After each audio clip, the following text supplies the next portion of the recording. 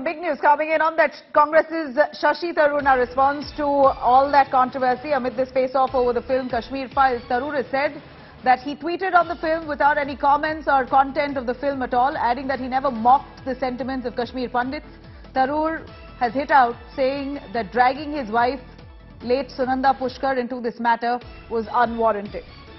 Remember, Shashi Tharoor had put out a tweet saying that Singapore had banned, has banned Kashmir Files, which the Indian government has endorsed.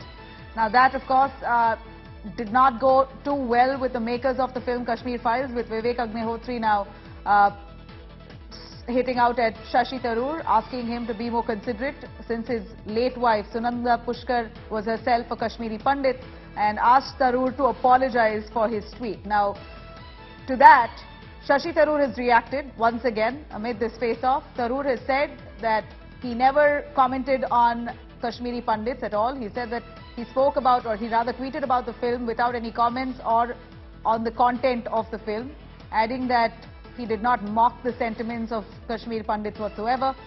Tharoor saying that dragging his late wife, Sunanda Pushkar, Sunanda Pushkar into this entire matter was really unwarranted.